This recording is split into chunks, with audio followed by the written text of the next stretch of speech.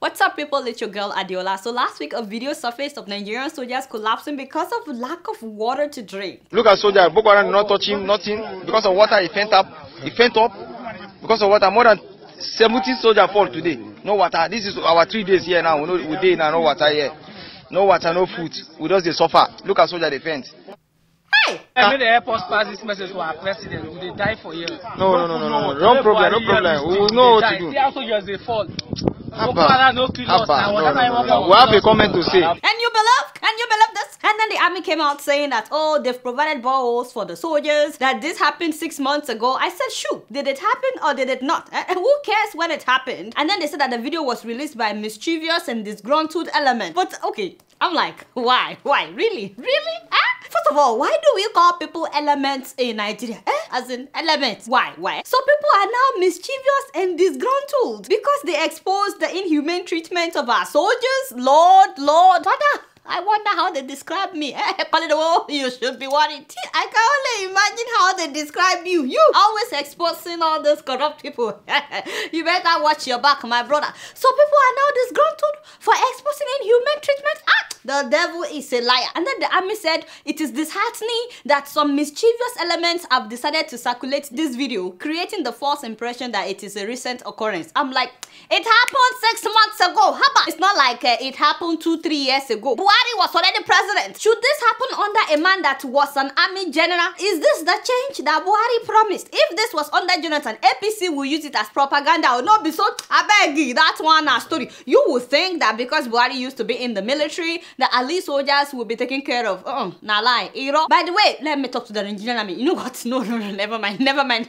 what I should. They never take me serious. You, they never take me serious. You want me to talk to them? Okay, Nigerian army. eh? You know, do. You know, do. Okay, okay. Uh, let me give you one advice. Just one advice. You need to stop trying too hard to have a good image. You know, especially by downplaying something that is obviously horrible. Ah, uh soldiers are collapsing and getting drips. Eh? When they are not fighting Boko Haram, oh, they did not eat for four days. They did not drink for four days. Hapa. Instead of you to attack the whistleblowers, you would have better image by admitting that this thing happened and that it is a disgrace that it happened. And then you can say, but this is what we've done since it happened. You know, apparently one soldier embezzled the water meant for other soldiers. Can I say embezzled water? Wait, wait, wait. They said that he mischievously concealed the water tank. So, in fact, kudos to them for waiting this long. For I mean, me, I wouldn't wait that long before releasing the video. I would release the video the same day while it is happening. Go go.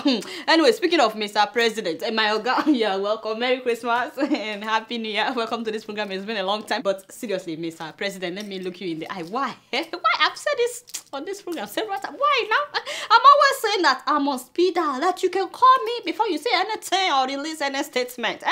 As you guys know, on the 22nd of this month, Mr. President was scheduled to be in Enugu for the Economic and Security Summit, but he did not go. 48 hours to the event, though, Biafran said that if Buhari should come to Enugu or any Biafra land, that they would kill him. To cut a long story short, Buhari did not go. Me, I didn't think much of it. I'm thinking, okay, maybe he couldn't make it or whatever. Imagine my shock when the presidency released a statement. I said, ah, they say, po. I, I always tell them to call me. They did not. They said that Buhari did not go because the date was close to Christmas.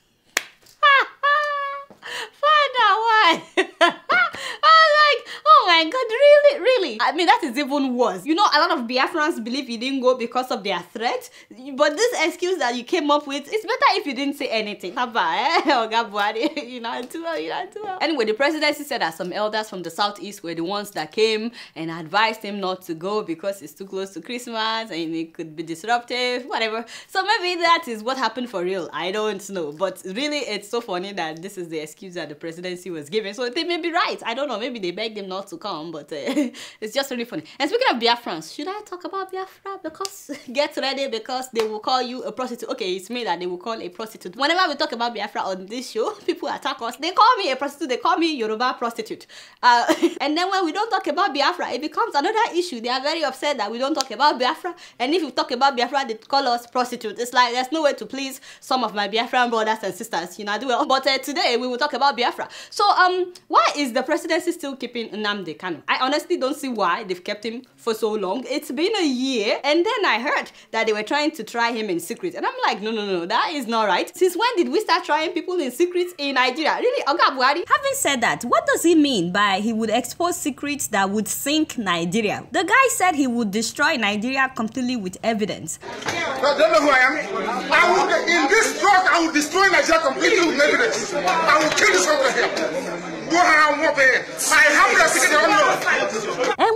he just say it instead of putting us in suspense? Not only that, Human Rights Watch said that more than 150 Biafrans have been killed by the Nigerian police during protests. And I'm like, is it possible that Mr. President did not hear about this because, you know, he reads the news? Because there is absolutely no reason to kill people because they say that they want to secede from Nigeria. By now, he should have released a statement to condemn the killing of Biafrans during protests and to hold those responsible accountable. I've said several times on this show that whether you agree with Biafrans or you don't agree with Biafrans, there absolutely no reason to kill people because they say that they want to secede. Two people can agree to disagree and life goes on. You guys know I don't know much. Guess what? I'm just keeping it real.